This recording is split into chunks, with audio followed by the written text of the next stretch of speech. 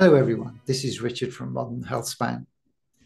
In this new study from Korea, they have found that seaweed is able to reduce muscle loss in older adults by, among other things, increasing testosterone and mitochondrial biogenesis.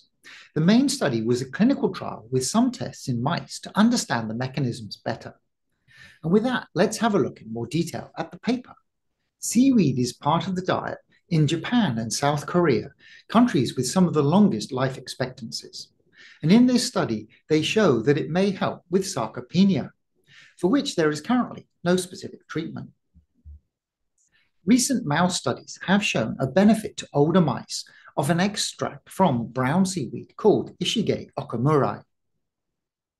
In this study, the authors ran a clinical trial on 80 participants aged between 50 and 85, with an average age of around 62. They were randomly assigned to a trial or a placebo group. The intervention was 500 milligrams of IO extract. The paper says here it was per kilogram, but in the method section, it says 500 milligrams per 60 kilogram, which seems a more reasonable dose. So I think that that is what it was. The endpoints were vital signs and muscle strength. Having seen positive results in the human trial, they conducted mouse trials to investigate the mechanism of action. Mice were given varying doses of 50, 100, and 200 milligrams per kilogram for six weeks and measured for aging and muscle wasting markers such as grip strength, body weight, and composition, serum parameters, and molecular changes. In the clinical trial, they saw no adverse effects, and they saw increased muscle strength in the quadriceps compared to the controls. The mouse trials saw improved grip strength and testosterone, as well as improved markers of muscle parameters such as lean mass, cross sectional muscle fiber area, and the number of satellite cells. Markers of oxidative phosphorylation also increased, implying increased mitochondrial biogenesis. This is the first study to investigate the link between brown seaweed and muscle strength decline and showed that IO treatment helps maintain muscle mass and delays muscle wasting with age. What is Ishige Okamurae? It is a brown seaweed which grows in temperate regions of the North Pacific, including Korea and Japan. The seaweed in this case was collected from Jeju, an island off the southern tip of Korea. In the study, the authors were interested in the active ingredient, a polyphenol, which is also a phlorotannin, DPHC, diphlorethohydroxycarmalol.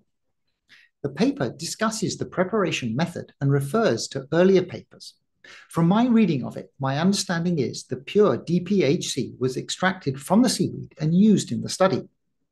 The previous study that was referred to quoted a yield of 0.39% for DPHC from the seaweed. So to get 500 milligrams would require about 128 grams of seaweed. Though please note, a lot of guesswork went into that calculation. Interestingly, Ishige also contains fucoidan, which has been shown to activate SIRT6. However, this was not included in this trial as far as I can see. Let's have a look at the human test that they performed first. The trial lasted 12 weeks, and the intervention was to take 500 milligrams of DPHC per day. The tests were leg extension and flexion exercises, with the measure being the maximum torque at 60 degrees per second movement.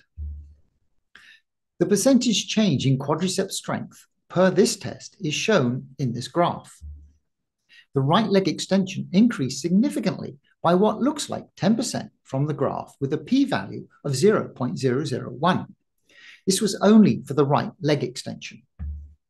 Segmenting by sex still saw significant improvement, though interestingly, when segmenting by age, only those under 61 were significant. There is an improvement in the graph for those over 61, but the authors do not comment on whether they thought this was an issue with the power when segmented by age or the effect was less for the older adults. Their conclusion from this was that DPHC did improve muscle strength. Moving on to the mouse experiments to identify the mechanism that was causing the increase in muscle strength. They used C57BL male mice, a common strain for lab studies. The young controls were four months old about 26 in human terms, and the old mice were 12 months, about 58 for a person. The trial lasted six weeks, and doses used were 50, 100, and 200 milligrams per kilogram of body weight.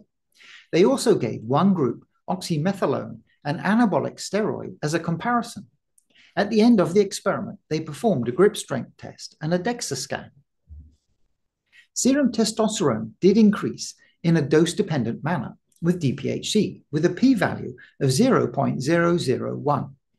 The 200 milligrams per kilogram dose seemed to have about 150% increase, and it was almost the same as the young controls. The lean mass percentage of the intervention groups increased in a dose dependent manner, and we can see that when taking the rear limb only, the percentage increase was larger. Not shown here, the body weight, bone density, and fat mass did not change significantly.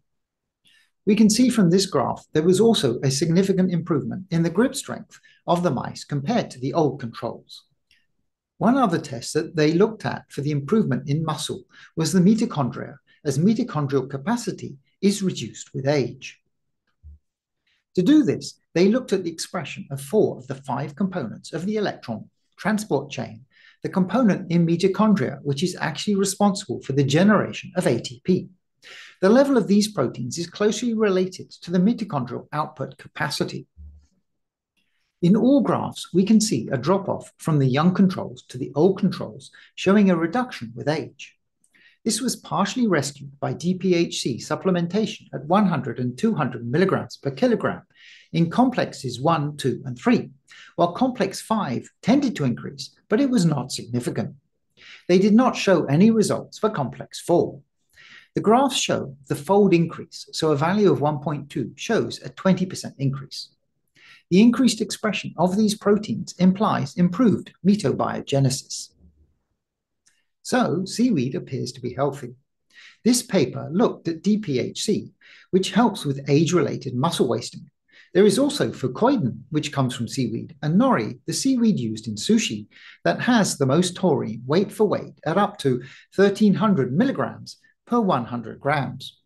It's interesting that in this paper, as well as showing the benefits in the human trial, that they also looked at the mechanisms in preclinical trials and saw improvements in testosterone levels and mitochondria.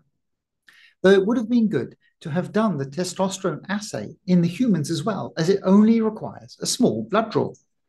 In the conclusions, they do say that consuming ishige may help reduce age related muscle loss.